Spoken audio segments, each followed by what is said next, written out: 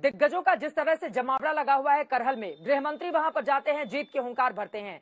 आज खुद मुख्यमंत्री योगी आदित्यनाथ ने जाकर वहाँ से अखिलेश यादव को हराने की बात कही है।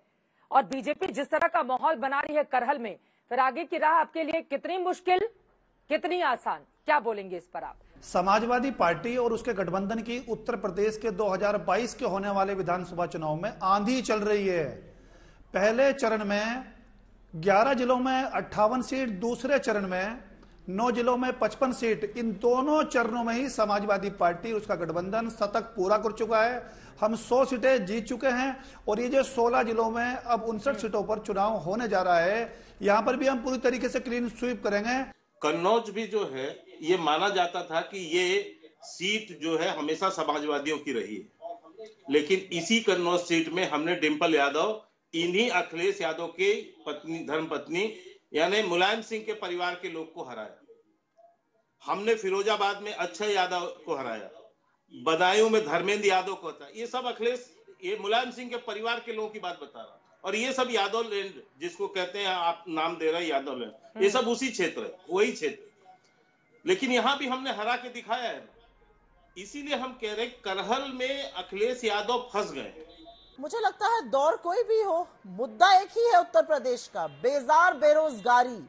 और उस पर जब सवाल पूछो तो ये लोग जवाब नहीं देते हैं। लेकिन चुनाव के हारने की बौखलाहट, न सिर्फ़ भाजपा के केंद्र के शीर्ष नेतृत्व में या योगी जी की वाणी में, बल्कि उनके मंत्रियों और उनके विधायकों की वाणी में झड़क रही है।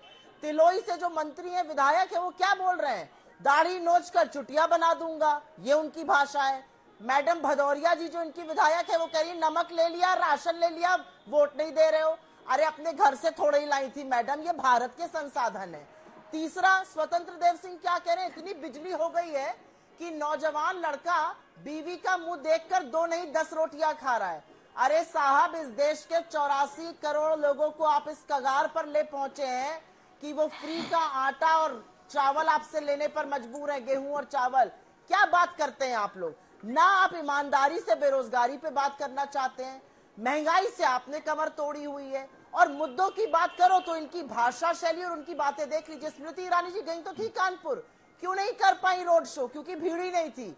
अमित शाह जी ने क्या कहा वो वायरल वीडियो में? अरे कबाड़ है बंद करो रोड शो भागो यहाँ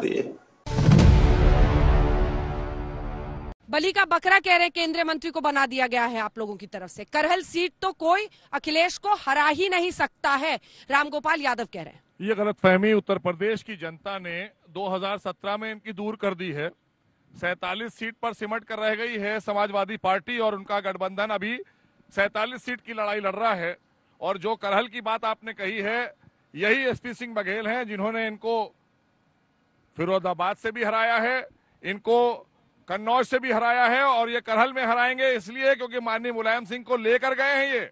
इसलिए लेकर गए हैं कि पापा आप चल के माफ़ी मांग लो लोगों से। आपका पूरा मंत्रिमंडल उतर जाए कहा हमारे पास लोग हैं। पिता है वो क्यों हमारे पास जनसेवक जन सेवक है ना। भारतीय जनता पार्टी के पास करोड़ों मेंबर से 18 करोड़ सदस्य हैं। हमारा एक एक कार्यकर्ता समर्पित है देश के लोगों के लिए। अभी आदरणीय योगी जी ने एक बड़ी इंटरेस्टिंग बात कही। उन्होंने कहा कि वो शिवपाल यादव को सीट पर खड़ा कर दिया या बैठा दिया। अरे भाई योगी जी याद है आपको? आपको तो पैदल दौड़ा दिया था पूर्वांचल एक्सप्रेस पे। याद है? योगी जी अगर आप देख रहे हो नहीं तो मोहसिन रजा साहब पहुँचा देंगे। पैदल दौड़ा दिया था मोदी जी ने उनको। ये कोई चुनाव के मुद्दे हैं? चुनाव के मुद्दे होने चाहिए कि साहब आप पुरानी पेंशन बाहर करेंगे या नहीं? चुनाव के मुद्दे होने चाहिए बेरोजगारों को रोज़गार देंगे या नहीं? चुनाव के मुद्दे होने चाहिए हाथरस जैसी घटनाएँ दोबारा तो नहीं होंगी? डीजल और पेट्रोल से लड़कियाँ तो नहीं चलाई जाएँगी? चुनाव के मुद्दे होने चाहिए कि यहाँ विवेक तिवारी को कोल्ड ब्लडेड पुलिस मर्डर तो नहीं करेगी? चुनाव के मुद्दे होने चाहिए कि पाँच लाख रुपए का इनामी बदमाश हो गया है एसएसपी भारतीय जनता पार्टी का मणिलाल पाटीदार। वो कहाँ है आज की डेट में? क्या है उसका गुजरात कनेक्शन चुनाव शुरू होते ही समाजवादी पार्टी हो और चाहे भारतीय जनता पार्टी हो इन्होंने अपने कैंडिडेट नहीं उतारे थे हमने उसी वक्त अपने कैंडिडेट को उतार दिया हाँ। और वो बूथ लेवल से लेकर ऊपर तक पहुँचाया आप सोचिएगा मुलायम सिंह यादव हाँ। जब पिछला पार्लियामेंट चुनाव हुआ तो कितने से जीते हैं हम्म। मात्र निन्यानवे हज़ार से जीते हैं और वो भी हमारा साथ था तब हम्म। इसके पहले वो तीन लाख से चार लाख से जीत रहे थे हाँ। ये दो लोग जो लड़ रहे हैं, आपस में कह रहे हैं कि वहाँ कुछ नहीं है, बहुजन समाज पार्टी का। बहुजन समाज पार्टी सीट निकाल के लेके चली जाएगी धीरे से। ये लोग लड़ते रह जाएँगे।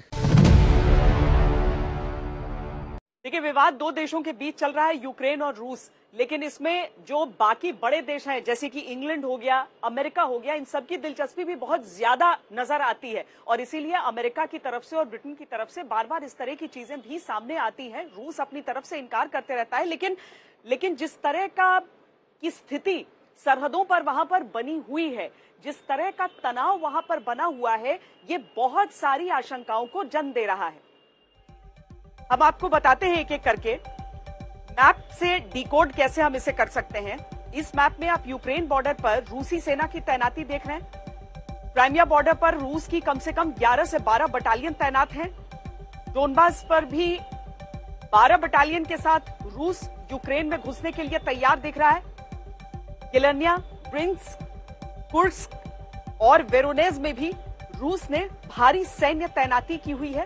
जबकि बेलारूस में रूस की कम से कम 10 बटालियन ने मोर्चा संभाला हुआ है, जो किसी भी वक्त यूक्रेन पर हमला कर सकती। सिर्फ़ अमेरिका नहीं, यूक्रेन को भी पक्का यकीन हो चुका है कि रूस उस पर हमला करेगा। लेकिन रूस का पहला हमला कैसा होगा और उसके निशाने पर क्या होगा, इसको लेकर पश्चिमी खुफिया एजेंसियों ने पाँच अंदाजे लगाए। पहला ये कि रूस यूक्रेन के बॉर्डर एरिया पावर स्टेशन और बड़े शहरों को निशाना बनाकर साइबर अटैक को अंजाम दे सकता है ताकि यूक्रेन का सिस्टम चरमरा जाए। ऐसी एक कोशिश हाल में रूस कर चुका है। दूसरा ये कि रूस, बेलारूस की तरफ़ से घुसकर यूक्रेन की राजधानी कीव को घेरेगा और उसे अपने कब्जे में लेकर उसका कंट्रोल रूस समर्थक अलगाववादियों के हाथों में दे देगा।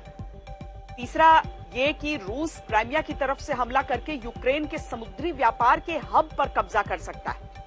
रूसी हमले का चौथा विकल्प ये है कि रूसी सेना मारियोपोल बॉर्डर पर मौजूद एक नहर को कब्जे में लेकर क्राइमिया को पानी की सप्लाई रोक सकता है और नहर पर एक ब्रिज बनाकर यूक्रेन में सेना की एंट्री करवा सकता है।